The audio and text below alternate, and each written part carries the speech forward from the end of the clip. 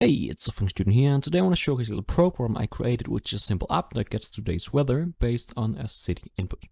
And it has been built using JavaFX and Scene Builder, and I'm using an API, which more specifically is MetaWeather, which has an API where we are able to get some weather information very quickly and easily based on the city we want.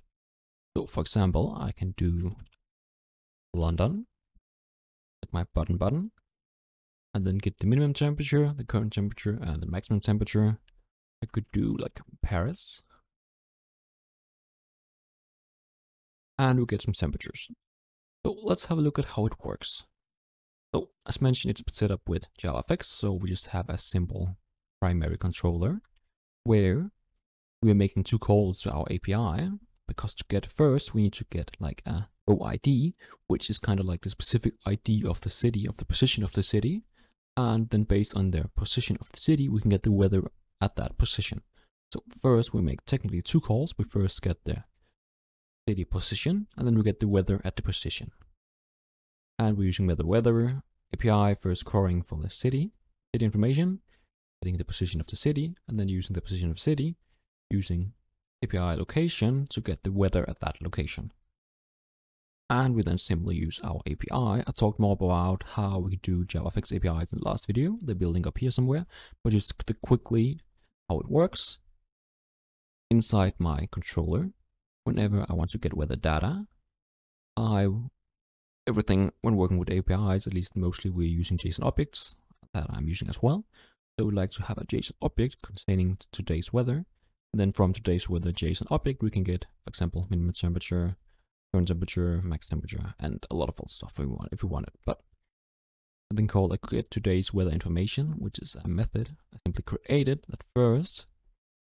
As mentioned, we need to get the WOE ID, and this ID is gotten here. So we are technically first getting today's weather and then giving it the input of get WOEID, where the WOEID takes the first URL, choose to get the city information, puts it inside my API connector to city, which is uh, just an API connector, which is a simple class I created that takes in the input to the constructor of the URL string, then sets up the URL. We try making an HTTP request, a GET request, check if we can get a connection. If a connection is successful, we then set up a string builder and a scanner taking the input of our URL, so our API position, using HTTP, opening a, and then opens a stream, then gets the information from our URL, using a while loop, goes through all the elements one at a time, gets them, put them into our string builder, also our scanner, and then use a JSON parser object. To allow us to have our, because first when we get the information from our API, in this way, at least, in Java, we're just getting it as a long, one long string, but we're then passing it to this JSON parser, which allows us to very easily make our string into a JSON object, or firstly, in this case, JSON array or JSON object, depending what we actually want to get, or what we're getting as a return value. So, API connect a city. We want to get city using our city input text field get JSON array because we're technically getting an array containing just one city in this case. We get the city information, it into it because we need to cast it because when we are using this setup, we actually get returned and just a plain object. We need to cast it that specifically a JSON object. Our JSON object, we then get a raw ID from this JSON object. Let's actually try, because it might be a bit confusing, but let's try printing some of it let's say we're running the application and now I input some kind of city like London. Then first we're getting some kind of city information for this JSON data. Let's try printing it just to showcase what it actually looks like. So now when I input London, first we get the ID and to get the word, you need to get the city information, which is this Java object, JSON object, not Java object. We have the lat, the longitude, the position, and the ID as mentioned, which is this ID for position.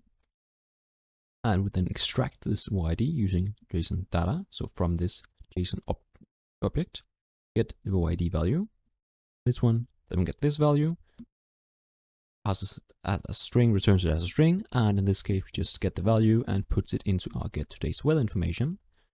So we call the second API with the row ID now, and we then end up using searching because we have a, all the cities, all the positions. So using this position, get the weather that position.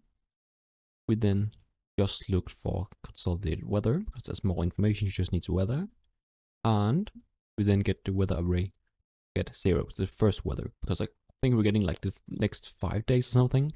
So we're just getting the weather from the first day and returning it as a JSON object. So I hope it wasn't too confusing because we're doing a lot of steps and we're transforming between like JSON objects, JSON arrays, getting information, and it's a bit clunky when doing it Java. But it works. And we then get our data, which contains it makes just showcase today's weather if we just print it.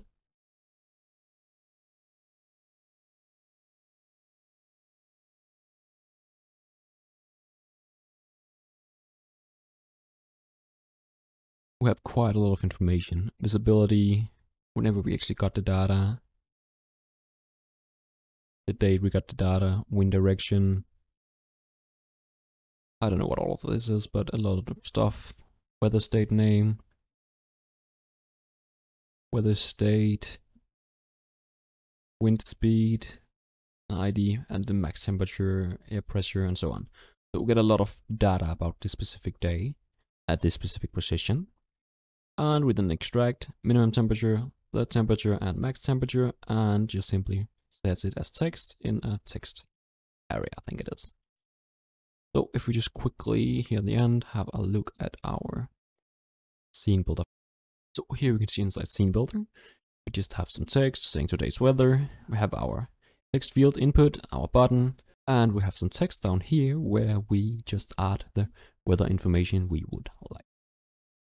So this is my basic setup of an application where we with JavaFX and Scene Builder have the graphical user interface setup and then using Java to connect to an API and get some weather information. So if you enjoyed this quick showcase of my little app, please leave a like and subscribe and I wish you all a wonderful day.